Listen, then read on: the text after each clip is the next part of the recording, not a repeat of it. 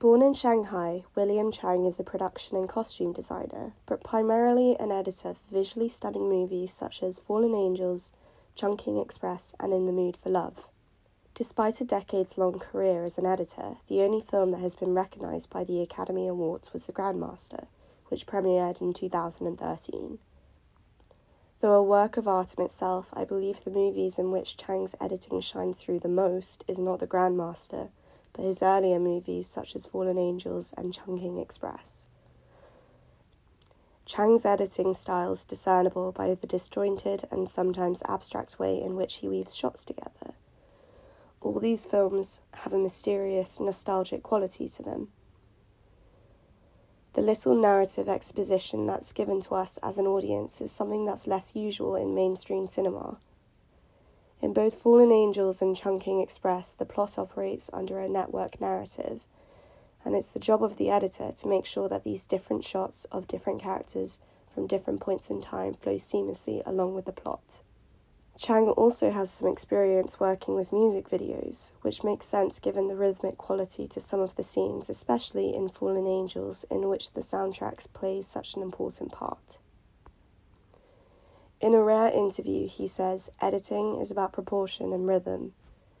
He said simply that he begins by asking, What is ambience? Particularly in Fallen Angels, the ambience is one of its strongest features.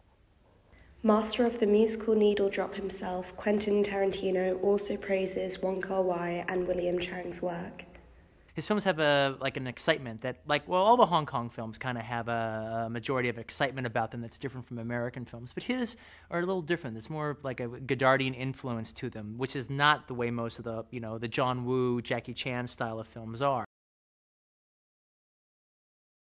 There is a definite theme as to how Chang manipulates color in these films. These fluorescents are further highlighted with spotlighting, adding more contrast to the dimly lit scenes. The increased contrast is made noticeable but subtle, and the increased saturation bodes well with the fluorescence of Hong Kong, in which Fallen Angels is set. These fluorescents are further highlighted with spotlighting, adding more contrast to the dimly lit scenes.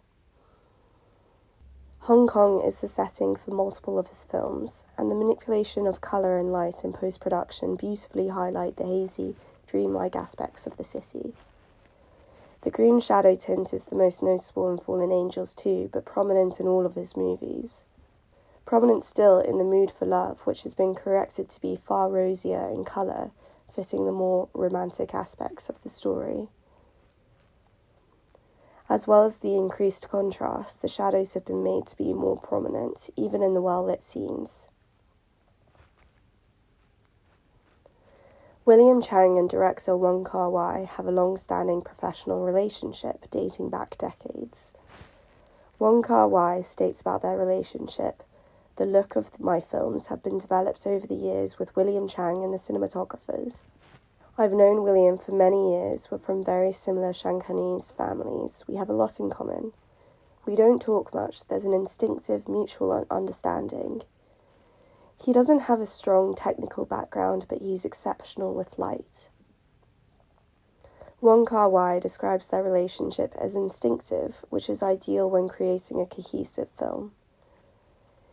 In this director editor relationship, Chang is the less outspoken of the two, but they appear to be long-time friends.